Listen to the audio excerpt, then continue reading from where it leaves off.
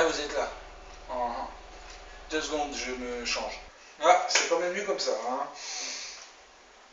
Je crois qu'il me manque quelque chose.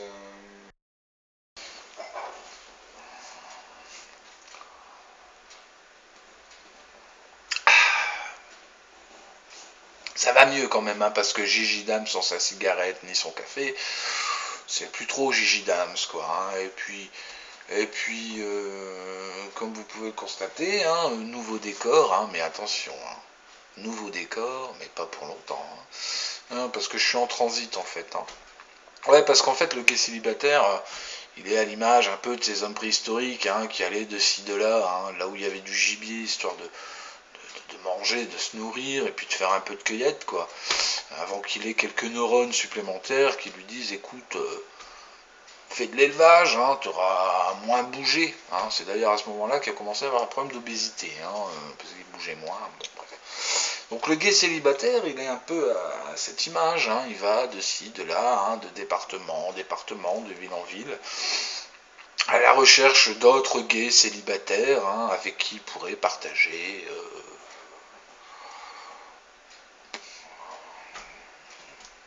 les notes de restaurant, par exemple c'est un exemple. Hein.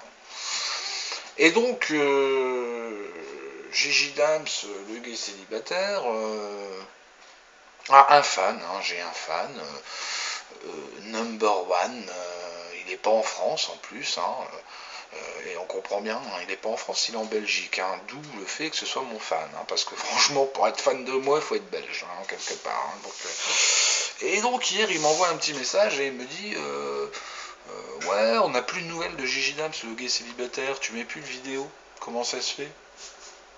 Je lui ai répondu tout simplement, euh, bah, la vérité, quoi, hein, que ça n'intéressait plus grand monde, et puis je suis pas sûr que ça fasse rire quelqu'un d'autre que moi et mon fan, quoi. Hein. donc du coup, euh, je me suis dit, je lui dois quand même, par respect, lui faire une petite vidéo explicative. et donc voilà, hein, je suis là. Le problème, euh, surtout, c'est que euh, c'est pas l'envie qui me manque. Hein, euh, oui, parce que le gay célibataire, il vit quand même des aventures extraordinaires dans une vie de merde. Hein, et ça, c'est ça qui est incroyable quand même. Hein. pour le coup, je sais pas, il se passe tellement de choses depuis la dernière fois, hein, par exemple, qu'on s'est pas vu. il s'est quand même passé pas mal de trucs. le mariage gay, par exemple, le mariage pour tous alors même si on n'est pas tous pour le mariage, euh, ça a fait un grand bouleversement chez le gay célibataire. Hein, euh. pour le coup, je me demande si c'est pas une manipulation de l'industrie pharmaceutique pour vendre plus d'antidépresseurs et d'anxiolytiques. Hein. Ah, parce que je vous explique, avant, le gay célibataire, il pouvait se plaindre, ouais, il n'y a pas de mariage, machin, c'est pas juste, il n'y a pas d'égalité, il a pas de... On pouvait se plaindre. Mais dans le fond, mais aujourd'hui, qu'on peut se marier, hein, parce que nous les gays on peut se marier, il y en a quand même eu 7000 hein, l'année dernière de mariages gays. 7000, euh, c'est peu en réalité. Hein, par rapport au nombre de gens qui étaient dans la rue, c'est peu. Et aujourd'hui, donc le gay célibataire, euh, bah, il peut se marier, mais le problème, c'est avec qui hein, euh, c'est encore une autre histoire, quoi. Hein. Alors voilà, les gens se ruent sur des sites de rencontres, hein, badou, machin, ils font de la dépression, ils veulent se marier, ils veulent euh, adopter des enfants et tout. Non, non, la vie du gay célibataire, elle n'est pas si rose que ça. Hein. Elle est plus arc-en-ciel que rose, mais elle n'est pas si rose que ça.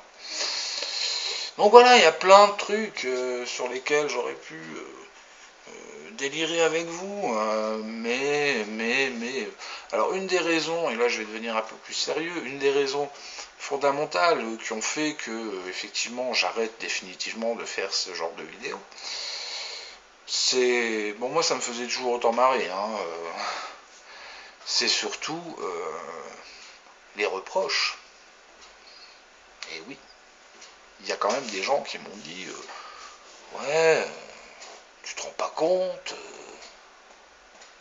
tu tiens des propos. Euh, je me serais appelé Dieudonné, on m'aurait dit que j'étais antisémite. Hein.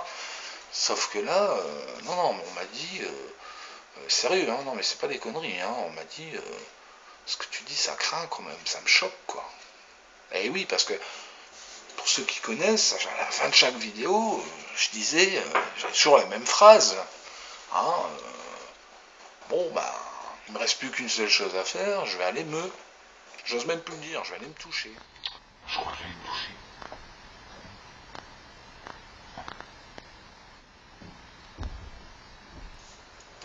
C'était de l'humour, c'était de la dérision, c'était pour marquer le fait que le gay célibataire est dans, un, dans une profonde solitude. Et d'ailleurs que celui qui ne s'est jamais touché me jette la première pierre. Mais les gens n'ont pas compris comme ça. Les gens m'ont dit, oui, tu te rends compte, tu as même des enfants, ils vont voir les vidéos. Euh, bon. Donc, euh, moi, moi, ce qui me choque le plus, c'est pas ce que les gens me disent. Ce qui me choque le plus, c'est que ces mêmes personnes laissent leurs enfants à 18h devant la télévision, en train de regarder des émissions de télé-réalité à la con, des séries et des pubs euh, dans lesquelles il y a un meurtre tous les 30 secondes et une scène érotique tous les, tous les minutes. Hein. Un meurtre, euh, une scène de cul, un meurtre, une scène de cul. Ça, ça les choque pas, les gens. Ça, ça les choque pas. Par contre, que je dise ça, oui, ça, a dérangé. Bon, bref. Euh, quelle bêtise. Quelle bêtise. Quelle bêtise. Voilà, donc une des explications du fait que je n'ai plus de vidéos du gay célibataire même, euh, même si, j'en avais envie, hein, parce que mon slogan reste le même. Hein. une vie sans durex euh, rime avec Linex. Hein, euh. une vie sans durex rime avec Linex. une vie sans durex. mais ouais, c'est dommage, c'est dommage qu'on se mette des barrières comme ça entre nous. quand quelque chose nous plaît pas, on peut le faire savoir. mais de là à directement remettre en cause euh, euh, l'objectif des choses. Moi, mon objectif, c'était pas de, choquer, hein, c'était de, rire. Et puis après tout, chacun est libre de regarder ou pas une vidéo. Hein, donc, euh, donc voilà. c'est un peu à l'image de ce que j'ai subi après, donc il y a quelques semaines parce que, parce que je fais partie de ces gens qui ne sont pas opportunistes, qui assument leurs idées, euh, j'ai certaines idées politiques que j'ai toujours assumées. Euh, j'ai été critiqué euh, par rapport au, soutien que j'ai apporté à un humoriste, mais un soutien qui, existe depuis des années. Hein. C'est pas quelque chose qui est arrivé parce qu'il y avait un coup de médiatisation. C'était quelque chose. je, mets en avant la, valeur de l'humoriste avant même, euh, la valeur artistique avant même l'homme, hein, qui fait ce qu'il veut de sa vie, de son pognon, qui fraude ou qui fraude pas, ou, ses idées personnelles. Mais on a remis en cause euh, un peu mon intégrité hein, en, me disant à la limite euh, que, j'étais de, ces, personnes qui, qui prônaient la tolérance, ce genre d'idées, de, alors que, que, c'est tout le contraire. Hein, euh, les, valeurs que j'inculque à mon, à mon fils, c'est l'amour, le partage, la tolérance, le respect, euh, le respect des religions, le respect des races, euh, la, voilà, ce qui fait que si chacun d'entre nous mettait un petit peu en, pratique certaines de ces valeurs, l'humanité irait beaucoup mieux, je pense. Euh, et, pour le coup, donc, euh, ça m'a vraiment blessé. Et, je me dis qu'en fait, quoi que tu fasses, euh, qui sortent un peu de l'ordinaire, ou quelles que soient tes idées qui ne sont pas si lisses que ça, hein, qui ne rentrent pas dans un formatage, à la limite un formatage médiatique, non seulement tu as le droit à la critique, bon la critique elle peut être constructive, mais remet en cause tout de suite ton intégrité, ta personnalité, tes idées, et, ce qui fait ta valeur, ce qui fait que tu as construit une vie, et ce qui fait que tu, tu as le respect de certaines personnes. Donc là, c'est vachement sérieux ce que j'ai dit, mais, euh, mais voilà, donc il n'y a plus de Gigi Dams, euh, il n'y a plus de, Mais voilà, donc il n'y a plus de Gigi Dams, euh, il n'y a plus de...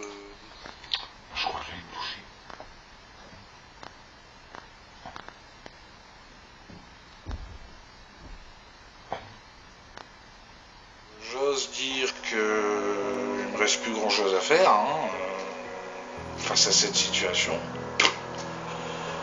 Si ce n'est que je vais aller. Bah, je vais aller me. Vous aurez compris. Tchuss. On les vaincra.